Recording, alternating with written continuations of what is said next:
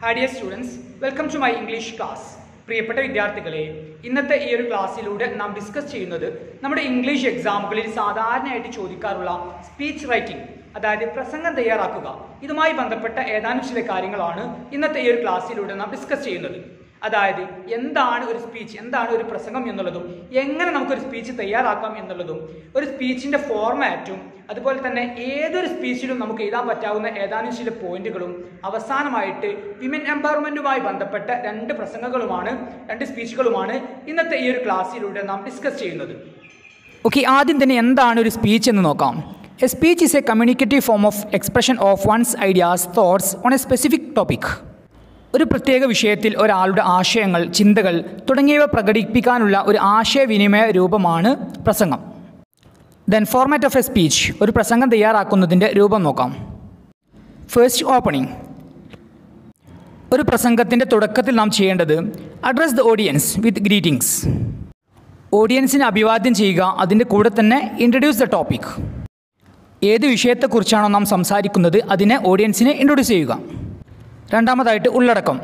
ഇവിടെ നാം എഴുതേണ്ടത് ഏത് വിഷയത്തെക്കുറിച്ചാണോ നാം പ്രസംഗം തയ്യാറാക്കുന്നത് ആ ഒരു വിഷയത്തെക്കുറിച്ച് വളരെ വിശദമായിട്ട് തന്നെ എഴുതുക. ദെൻ ഒരു പ്രസംഗത്തിന്റെ അവസാനത്തിൽ നാം എഴുതേണ്ടത് ആ ഒരു വിഷയത്തെ ഉപസംഹരിച്ചുകൊണ്ടും അതുപോലെ തന്നെ പ്രേക്ഷകർക്ക് നന്ദി അറിയിച്ചുകൊണ്ടുമുള്ള കാര്യങ്ങളാണ് ഒരു പ്രസംഗത്തിന്റെ അവസാന ഭാഗത്തിൽ നാം എഴുതേണ്ടത്. ഇനി നമുക്ക് ഏതൊരു പ്രസംഗത്തിലും നമുക്ക് എഴുതാൻ സാധിക്കുന്ന ഏതാനും ചില പോയിന്റുകൾ പരിചയപ്പെടാം. ആദ്യം തന്നെ ഒരു പ്രസംഗത്തിന്റെ തുടക്കത്തിൽ നമുക്ക് എഴുതാൻ പറ്റാവുന്ന ഏതാനും ചില കാര്യങ്ങൾ പരിചയപ്പെടാം. അതായത് ഓഡിയൻസിനെ അഭിവാദ്യം ചെയ്തുകൊണ്ടും ആ ഒരു ടോപ്പിക്കിന് ഏത് വിഷയത്തെക്കുറിച്ചാണോ നാം സംസാരിക്കുന്നതിന് അതിനെ ഇൻട്രൊഡ്യൂസ് ചെയ്തുകൊണ്ട് നമുക്ക് ഇങ്ങനെയുള്ള കാര്യങ്ങൾ എഴുതാം. ഇവിടെ പ്രത്യേകം ശ്രദ്ധിക്കുക അണ്ടർലൈൻ ചെയ്തിട്ടുള്ള സ്ഥലങ്ങളിൽ വേണ്ട മാറ്റങ്ങൾ അതായത് ക്വസ്റ്റ്യൻ അനുസരിച്ച് വേണ്ട മാറ്റങ്ങൾ വരുത്തുക. ദെൻ ഇതിന് ശേഷം നാം എഴുതേണ്ടത് ഏത് വിഷയത്തെക്കുറിച്ചാണോ നാം പ്രസംഗം തയ്യാറാക്കുന്നത് ആ ഒരു വിഷയത്തെക്കുറിച്ച് വളരെ വിശദമായിട്ട് തന്നെ എഴുതുക. ദെൻ ഇനി നമ്മുടെ പ്രസംഗത്തിന്റെ അവസാനത്തിൽ നമ്മുടെ പ്രസംഗം അവസാനിപ്പിച്ചുകൊണ്ടും അതുപോലെ തന്നെ ഓഡിയൻസിനെ നന്ദി അറിയിച്ചുകൊണ്ടുമുള്ള കാര്യങ്ങൾ നമുക്ക് ഇങ്ങനെ എഴുതാം. ഓക്കെ പ്രിയപ്പെട്ട വിദ്യാർത്ഥികളെ ഏകദേശം ഇതേ രൂപത്തിലായിരിക്കണം നമ്മുടെ പ്രസംഗം ഉണ്ടായിരിക്കേണ്ടത്. ഇനി നമുക്ക് നമ്മുടെ പ്ലസ് ടു ഇംഗ്ലീഷ് എക്സാമിൽ സ്പീച്ച് റൈറ്റിങ്ങുമായി ബന്ധപ്പെട്ട് ചോദിച്ചിട്ടുള്ള രണ്ട് ചോദ്യങ്ങളും അവയുടെ ഉത്തരങ്ങളും പരിചയപ്പെടാം. First question on the occasion of observing international women's day you are given a chance to speak on women empowerment അന്താരാഷ്ട്ര വനിതാ ദിനം ആചരിക്കുന്ന ഒരു അവസരത്തിൽ സ്ത്രീ ശാക്തീകരണം എന്ന വിഷയത്തിൽ സംസാരിക്കാൻ നിങ്ങൾക്ക് അവസരം ലഭിക്കുകയാണ്. Prepare the script of the speech പ്രസംഗത്തിന്റെ സ്ക്രിപ്റ്റ് തയ്യാറാക്കുക. സ്ക്രിപ്റ്റ് ഓഫ് ദ സ്പീച്ച് എന്നതുകൊണ്ട് ഉദ്ദേശിക്കുന്നത് പ്രസംഗത്തിന്റെ എഴുതി തയ്യാറാക്കിയ രൂപത്തെയാണ് സ്ക്രിപ്റ്റ് ഓഫ് എ സ്പീച്ച് എന്നതുകൊണ്ട് ഉദ്ദേശിക്കുന്നത്. You can include the points from the speech the three Ls of empowerment ഈ ഒരു പ്രസംഗം തയ്യാറാക്കുന്ന സമയത്ത് ദ ത്രിയൽസ് ഓഫ് എംപവർമെന്റ് എന്ന പ്രസംഗത്തിൽ നിന്നുള്ള പോയിന്റുകളും നിങ്ങൾക്ക് ഉൾപ്പെടുത്താം. ഓക്കെ പ്രിയപ്പെട്ട വിദ്യാർത്ഥികളെ ഇവിടെ നമ്മോട് ചോദിച്ചിട്ടുള്ളത് അന്താരാഷ്ട്ര വനിതാ ദിനത്തോടനുബന്ധിച്ച് നടക്കുന്ന ഒരു പ്രോഗ്രാമിൽ വിമിൻ എംപവർമെന്റ് സ്ത്രീ ശാക്തീകരണം എന്ന വിഷയത്തെക്കുറിച്ച് നാം തയ്യാറാക്കുന്ന ഒരു പ്രസംഗമാണ്. അതായത് ദ ത്രിയൽസ് ഓഫ് എംപവർമെന്റ് എന്ന സ്പീച്ചിൽ നിന്നുള്ള ഏതാനും പോയിന്റുകൾ ഉൾപ്പെടുത്തിക്കൊണ്ടുള്ള ഒരു പ്രസംഗം. ഓക്കെ ആ ഒരു പ്രസംഗം നമുക്ക് ഇങ്ങനെ തയ്യാറാക്കാം. നമുക്കറിയാം ഒരു പ്രസംഗത്തിന്റെ തുടക്കത്തിൽ തന്നെ നാം എഴുതേണ്ടത് ഓഡിയൻസിനെ അഭിവാദ്യം ചെയ്തുകൊണ്ടും അതുപോലെ തന്നെ നാം ഏത് വിഷയത്തെക്കുറിച്ചാണോ സംസാരിക്കുന്നത് ആ ഒരു വിഷയത്തെ ഇൻട്രൊഡ്യൂസ് ചെയ്തുകൊണ്ടുമുള്ള കാര്യങ്ങളാണ് ഒരു പ്രസംഗത്തിന്റെ തുടക്കത്തിൽ തന്നെ നാം എഴുതേണ്ടത്.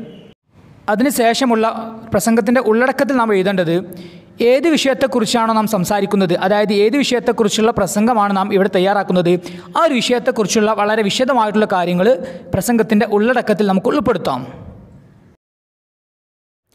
ദെൻ അവസാനത്തിൽ നമ്മുടെ പ്രസംഗത്തിന്റെ അവസാനത്തിൽ നമ്മുടെ പ്രസംഗം ഉപസംഹരിച്ചുകൊണ്ടും അതുപോലെ തന്നെ ഓഡിയൻസിനെ നന്ദി അറിയിച്ചു കൊണ്ടുമുള്ള കാര്യങ്ങളാണ് നമ്മുടെ പ്രസംഗത്തിന്റെ അവസാനത്തിൽ നാം എഴുതേണ്ടത്. അടുത്തൊരു ചോദ്യം നോക്കാം. The literary club of your school is celebrating the international women's day നിങ്ങളുടെ സ്കൂളിലെ ലിറ്റററി ക്ലബ് അന്താരാഷ്ട്ര വനിതാ ദിനം ആഘോഷിക്കുകയാണ്.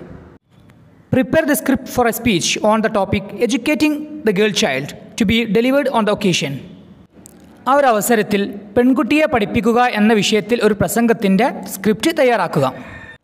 അതായത് അന്താരാഷ്ട്ര വനിതാ ദിനത്തിൽ നമ്മുടെ സ്കൂളിലെ ലിറ്ററി ക്ലബിന്റെ നേതൃത്വത്തിൽ നടക്കുന്ന ഒരു പ്രോഗ്രാമിൽ പെൺകുട്ടിയെ പഠിപ്പിക്കുക എന്ന വിഷയത്തെക്കുറിച്ച് നാം സംസാരിക്കുന്ന ഒരു പ്രസംഗം. ആ ഒരു പ്രസംഗത്തിന്റെ സ്ക്രിപ്റ്റാണ് ഇവിടെ നമ്മോട് ചോദിച്ചിട്ടുള്ളത്. അതായത് ആ ഒരു പ്രസംഗത്തിന്റെ എഴുതി തയ്യാറാക്കിയ രൂപം. ഓക്കെ ഈ ഒരു സ്പീച്ച് നമുക്ക് ഇങ്ങനെ തയ്യാറാക്കാം. ആദ്യം തന്നെ ഓഡിയൻസിനെ അഭിവാദ്യം ചെയ്തുകൊണ്ടും അതുപോലെ തന്നെ ഏത് വിഷയത്തെക്കുറിച്ചാണോ നാം സംസാരിക്കുന്നത് ആ ഒരു വിഷയത്തെ ഇൻട്രൊഡ്യൂസ് ചെയ്തുകൊണ്ടുമുള്ള കാര്യങ്ങൾ. അടുത്തതായിട്ട് ഏത് വിഷയത്തെക്കുറിച്ചാണ് നാം സംസാരിക്കുന്നത് ഏത് വിഷയത്തെക്കുറിച്ചാണോ നാം നമ്മുടെ പ്രസംഗം തയ്യാറാക്കുന്നത് ആ ഒരു വിഷയത്തെക്കുറിച്ച് വളരെ വിശദമായിട്ട് തന്നെ എഴുതുക.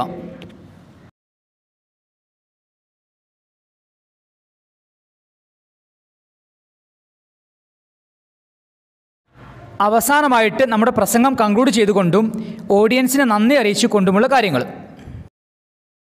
ഓക്കെ പ്രിയപ്പെട്ട വിദ്യാർത്ഥികളെ ഈ രൂപത്തിൽ നമുക്ക് ആ ഒരു പ്രസംഗം തയ്യാറാക്കാം.